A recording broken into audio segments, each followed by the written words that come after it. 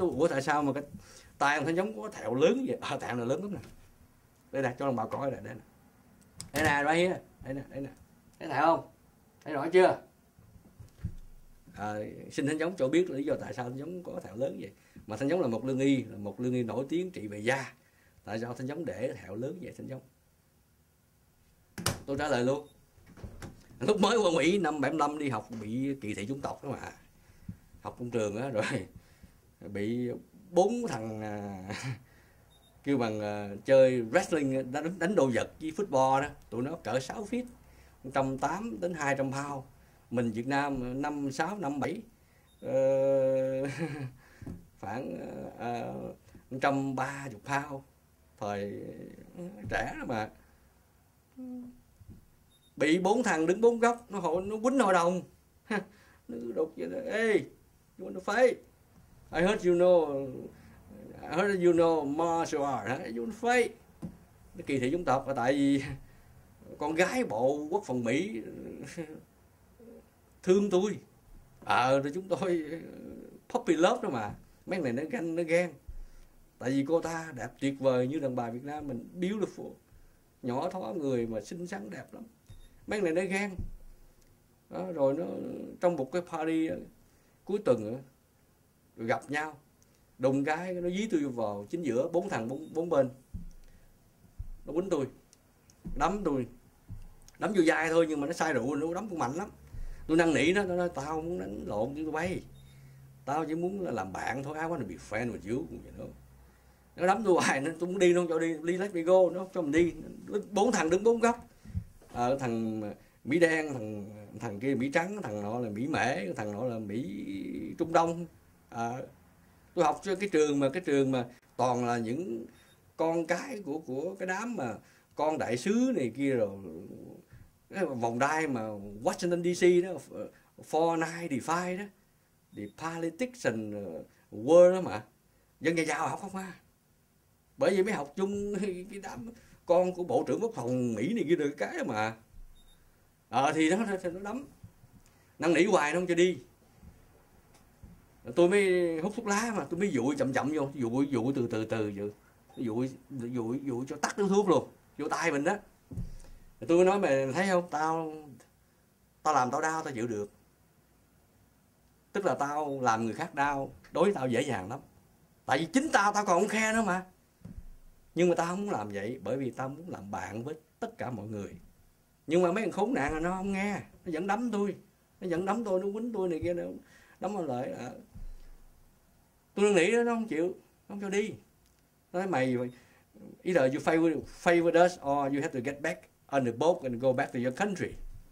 Mình đến xa quê hương nhớ mày hiền mình đã buồn rồi.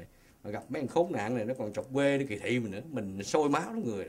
Nhưng mà mình ráng dằn móc điếu thuốc khác đốt lên rồi hút mấy hơi cháy sáng rực lên. Rồi mình phải dí mình đốt vô ngay cái chỗ mình vừa đốt cái điếu thuốc đầu tiên mà đốt chậm nó từ từ từ từ từ từ từ từ từ từ dụi từ từ, tắt đứa thuốc luôn.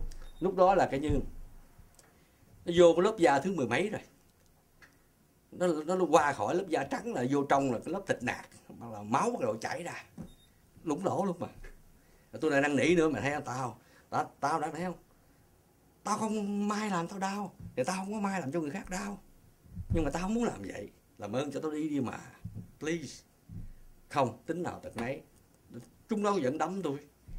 Tôi nói thì tôi mày lại nói là bây giờ nếu mà tôi đốt đứa thứ ba mà dụi nữa thì cũng vậy thôi. Có dụi thấu qua, qua bên đây thì nó cũng cũng cũng không cho mình đi.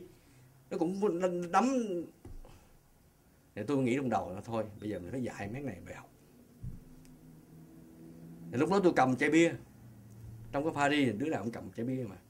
Thì tôi nói trong đầu nó bây giờ nếu mà mình đấm nó bằng ta tại tôi tập tôi là tập từ nhỏ đây là cái búa mà võ mà của đức thánh trận đạo mà ông tổ mình mà.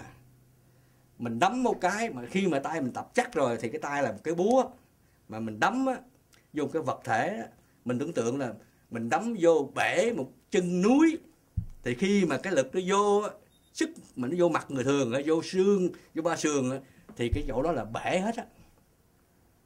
Đấm một cái búa vô mà đấm đấm bể chân núi mà thì mà tôi đấm là cái như chín cái nữa là kia mấy đó sẽ chết nhưng mà mình không làm vậy. Bởi vì mình mới, mới dụi đau quá đau lắm. Nó cho đi. Tôi nói bây giờ cầm cái chai đi dạy mấy mày học cho mấy này xịt máu. À, à, à. Ờ ờ ờ mình chạy giặc chiến tranh chạy giặc từ lúc 2 tuổi năm 2 tuổi đó chạy giặc rồi. Thấy sát người. Chiến tranh bom đạn nổ banh ruột. Rồi đầu khúc chân ngã này kia. Mình thấy mình chạy đến sát người từ năm 2 tuổi rồi. Mấy này nó không biết chiến tranh là gì hết nó cà chớn sọc dưa sọc lá. Bây giờ dạy cho nó bài học. Tôi cầm cái chai bia thôi giờ mình đập nó bằng cái đít bia nó bể vô sọ nó chết. Mình đập bằng cái đầu bia đó thì nó tét tét đầu nó sâu hơn. Thôi giờ mình đập chính giữa chai bia. Nó vừa tạo mét xăm noi mà đồng thời miễn ghim vô đầu nó xịt máu cho anh biết. À, tôi đang nghĩ lần chót nó please let miếng gỗ sau khi vụi đi tắt đứa thuốc thứ hai rồi đó nó vẫn đấm mình và nó chọc quê mình nữa. Và thằng kia lại đòi ký đầu mình. Nó cao hơn mình nhiều. Nó nói, sơn sơn, come on cho nó phái ký đầu mình. Cái gọi mình là con đó. Thì cái thằng cầm đầu trong bốn thằng nó nói ờ, mày tao dạy mày mày sơn cái gì mày kêu tao sơn, con mày hả? Đuổi tao về nước hả? Được rồi. Tôi cầm cái chai bia tôi mới khởi vô đầu, quýnh một cái cản vô đầu nữa, cái là miệng bể rồi ghim vô đầu luôn. Xịt máu ra. À ok ờ, ôm đầu xuống, ôm đầu quỵ xuống thôi. Thằng kia tôi xỉ cái chai bia vô cổ, sát thôi, chứ chưa đâm vô. Nó you want the face quỳ gối xuống nữa. Thằng nọ là tôi đá vô hạ bộ. Thằng kia tôi giật cái chỏ nữa là bốn thằng là kể như là bò càng. You want the face lại, chúng nó lại. Sau đó bạn tôi chở tôi về. Nhưng mà sau này ra tòa thì không tòa không tha, không nói đây tại vì tại vì mày you have your right to defend yourself. Tại vì những thằng kia nó kỳ thị chủng tộc. Tại vì có nhân chứng đầy đủ. Đúng là cũng may cái là cái người span tôi là người đó lúc đó là làm thị trưởng ở, ở, ở tại Bethesda Maryland. Ờ, thì ra tòa ông tòa nói son I let you go this time okay? But please don't fight again. Tại vì mấy kia ban đầu như hạ bá vô nhà thương. À, tôi quay lại nói dạ, dạ thưa quan tòa when I ai I, I don't talk. Thông nguyên cái phòng xử cười luôn. Cho tôi về. Đó lý do tại sao có thẹo như vậy? Mà tôi tôi muốn để vậy mà giờ trị cũng được đó tại vì thẹo quá sâu. Giờ muốn trị thì phải lấy da cắt da trên đây này đắp vô. Mà cắt ở đây á đắp vô đây thì ở đây có thẹo. Hoặc lấy da vô mông á đắp lên đây thì đây có thẹo. Mà đây không có thẹo nữa. Có thẹo nhỏ thôi cái vết mai này kia rồi thôi. Nhưng mà làm gì làm chi? Nhưng mà tôi cũng thích làm vậy tôi muốn để cái thẹo tôi nhớ đời nhớ. Bây giờ tôi có rất nhiều kinh nghiệm về vấn đề dẹp bọn kỳ thị chúng tộc bọn du đảng kỳ thị chúng tộc. Tôi rất kỳ cái bọn đó. Tại vì chúng nó là những đứa mà bị quỷ nhập tôi mới kỳ thị. Nhưng mà tôi thì tôi không ghét ai hết.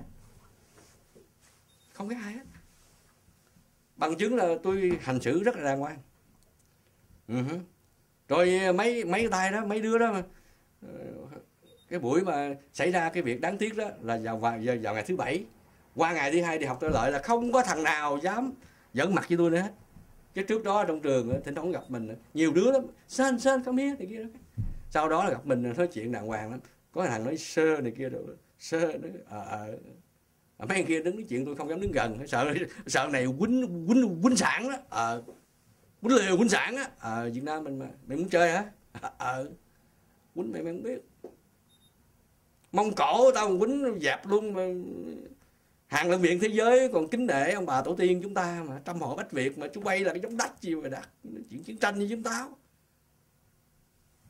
ông bà tổ tiên chúng ta là những người dự những trận đánh kinh hoàng khốc liệt và hoài hùng nhất lịch sử nhân loại từ cổ chí kim. Hàng lâm viện anh quốc là một hàng lâm viện kiêu ngạo phải nói là hách dịch lắm tại bởi, bởi vì chúng nó nghiên cứu kỹ lắm. Và tất cả các nước đều vốt như thế mà.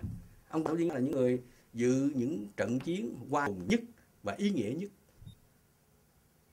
của lịch sử nhân loại từ cổ chí kim. Bởi vì ông trời cha trời đã chọn lựa như thế. Thôi nói nhiều đủ rồi. Rồi giờ quay về vấn đề à, việc làm của nguyên dân tộc và đất nước việt chúng ta.